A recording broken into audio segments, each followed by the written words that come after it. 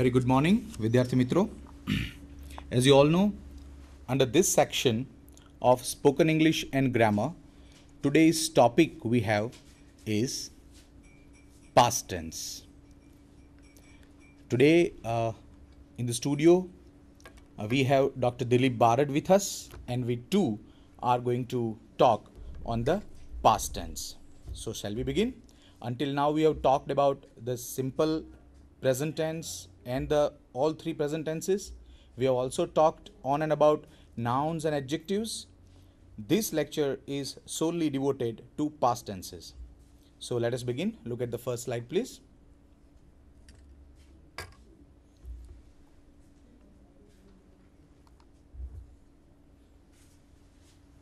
As I told you earlier, we have talked about the basic, the use of the tenses, but today we will talk about this portion especially that is past tense.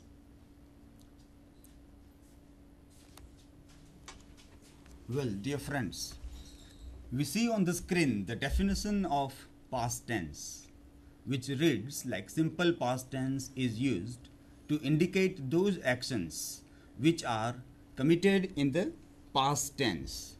The actions which are completed in the previous time, and when we have to speak something about those, we have to make use of some verbs, and those verbs, those verb patterns, in a way tell us about the past tense. As we know, dear friends, that verbs are the soul of English grammar. When we speak about employability, in, in, the, in the case of uh, empowering our, our students with the help of communication skills, the power of communicative English is very important. And in that, verb plays a very, very important and a key role. Without having a power over verb patterns in the usage of the verb, one will always falter in having an appropriate and correct communication.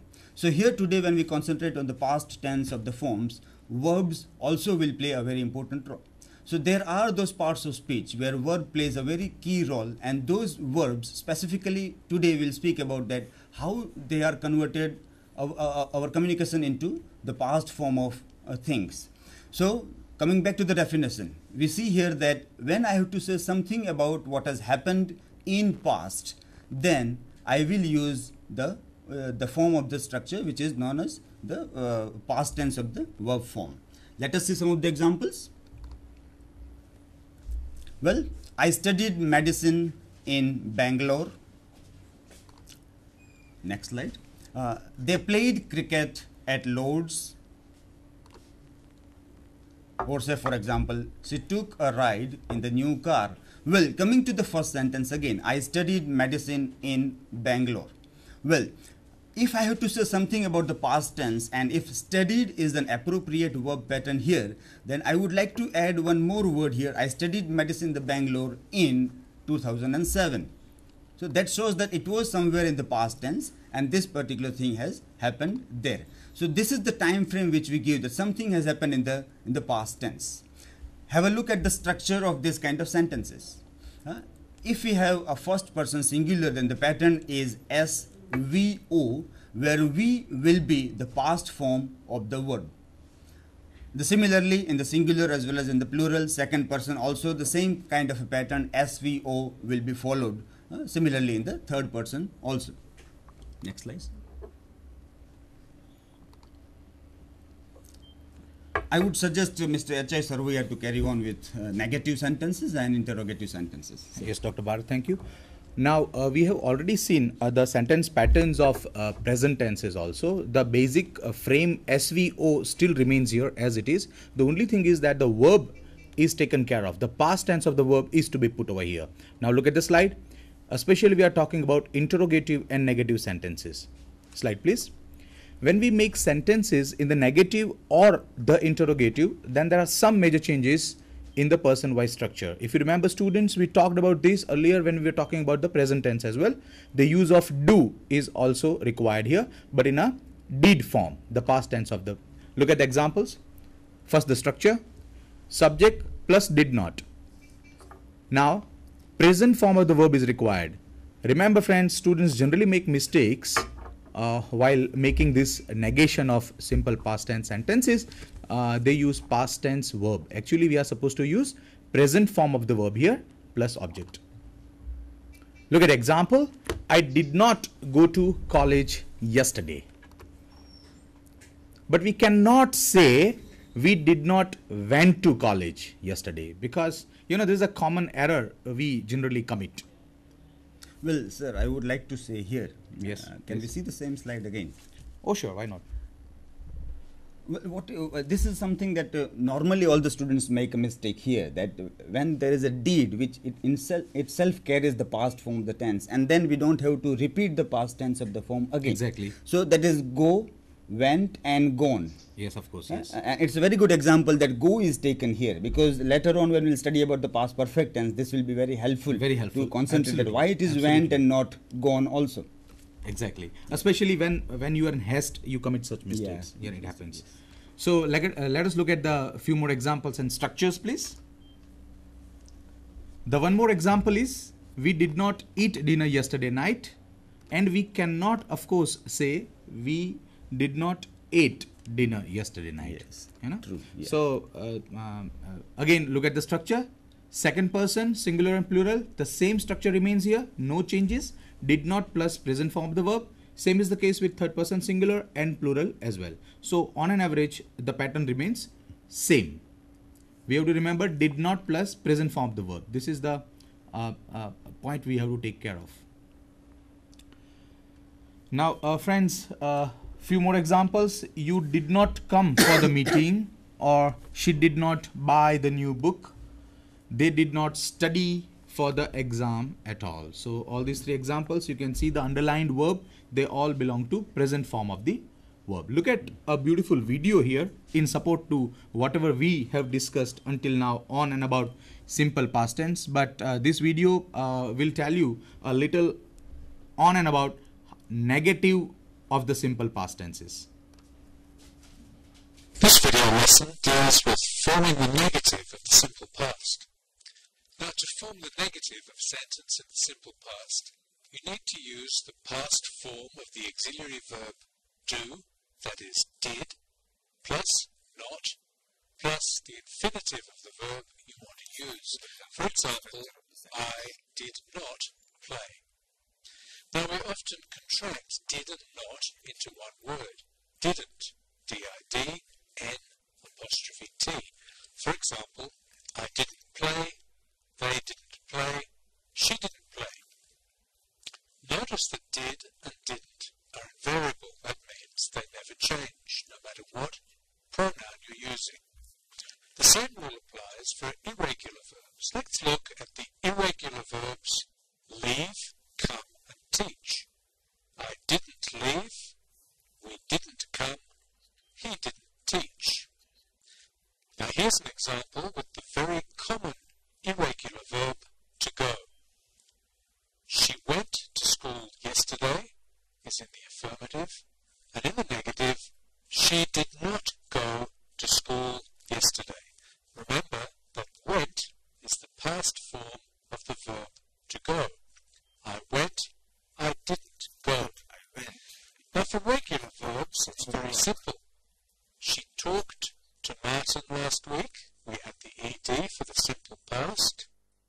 And in the negative, she did not talk to Martin last week. Now you try and sentences in the negative using the simple past.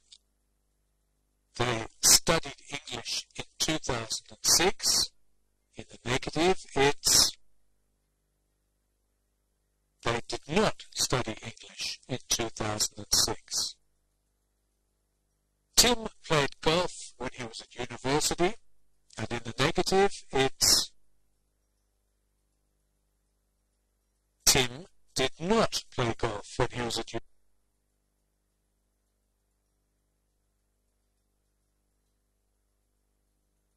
we are supposed to use the present form of the verb. So this was the same uh, uh, example of the uh, video.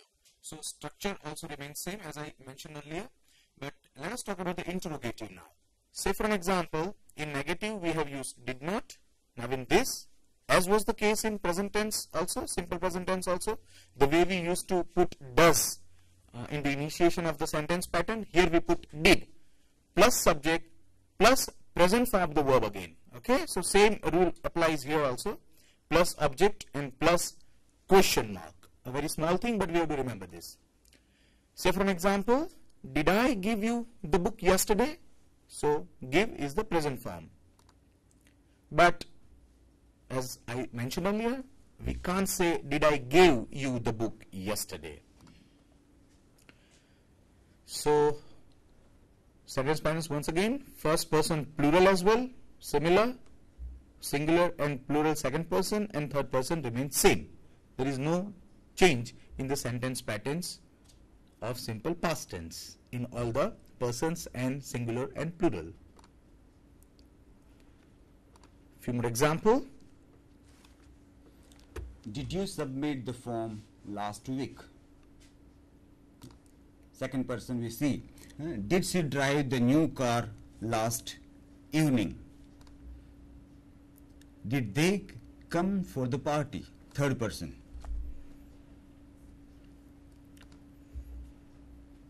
So, if we make a total of all this, use of simple past tense is to talk about actions and situations in the past, as Dr. Barad mentioned this earlier.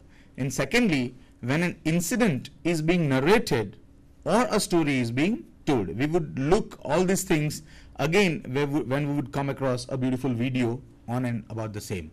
So, one more time, he went to the cinema there he met his friends, Umesh, friend Umesh. They ate ice cream. They saw the movie together. They came back at 8 o'clock.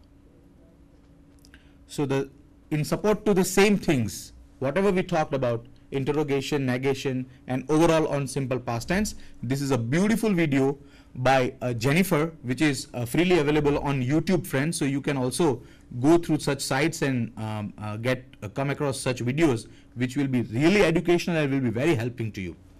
Recognizing and understanding the simple past tense. Let, let us look at the video, please. Watch and listen. I want something to eat. Hmm, maybe candy. I'll just take one piece. Yeah. Oh, but there's an apple. Okay, I'll put this back and I'll eat the apple, not the candy. Reading. The following text describes what you saw in the video. Can you find all the verbs in the simple past tense? What happened in the video? Jennifer was at the kitchen table. She wanted to eat something. First, she thought about eating candy. She opened the candy jar in front of her and took out a piece. Now take a moment and try to find the verbs in the simple past tense. Do you see them? Here they are. Happened, was, wanted, thought, opened, took. Let's go on to the second half of the text. Then she looked at the apple. In the end, she didn't eat the candy. She put it back and ate the apple. That was a good choice. As before, I want you to find the verbs in the simple past tense. Do you see them? Let me show you. The verbs in the simple past are looked, didn't eat, put, ate, was. How did you do? Were you able to find them all? Don't worry if you found the first exercise a little difficult. I'm going to show you all the forms that the simple past tense can use. Then in the future, it will be easier for you to recognize it. So now we'll turn our attention to the forms and meanings of the simple past tense. We'll look at the verb to be, regular verbs, and irregular verbs. In the simple past tense, the verb to be has two forms, was and were. Was is used with singular nouns, uncountable nouns, and the pronouns I, she, he, and it. Examples. I was hungry. She was in the kitchen. There was candy in the jar. Candy is an example of an uncountable noun. The apple was a good choice. This is an example of a singular noun. Were is used with plural nouns, compound subjects, and the pronouns you, we, and they. Examples. You were hungry. The apple and candy were on the table. Apple and candy being a compound subject. There were many pieces of candy in the jar. Pieces is an example of a plural noun. We often use the verb to be in the simple past tense to tell about a past event, state, or condition. Examples. Jennifer was at the kitchen table. She was hungry. All of this happened in the past. All of this was true in the past. I'm telling you about my location and how I was feeling. I was at the kitchen table. I was hungry. Okay, now that we've covered the verb to be, we're going to talk about all the other verbs. We'll group them into regular verbs and irregular verbs. In the simple past, regular verbs end in ed.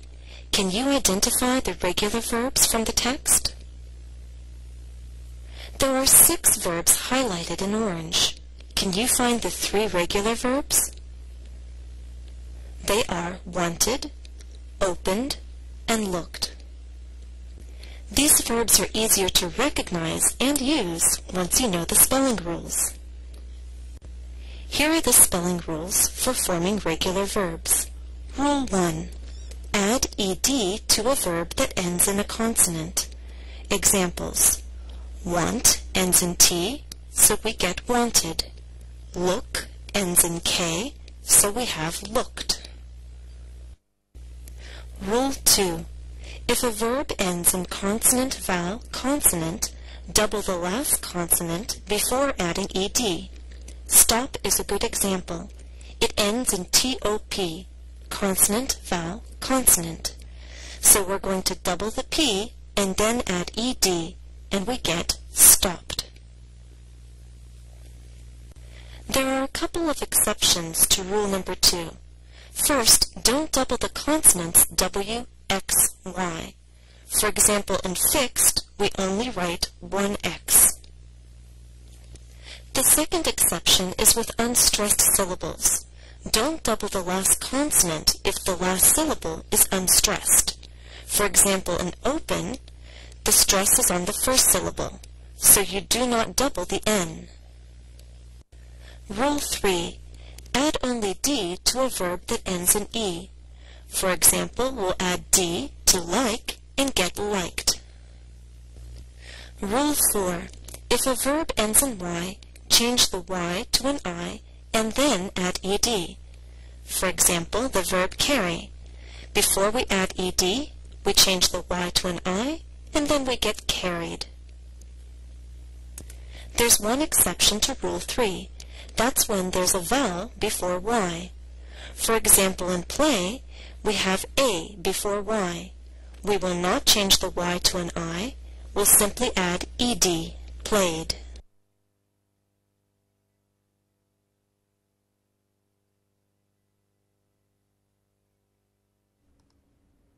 So I hope you all might be knowing such basic rules on and about uh, simple past tense, especially um, in such verbs uh, you're supposed to put ed. In the other words, you just pronounce it differently and all that. There is one more small video which would also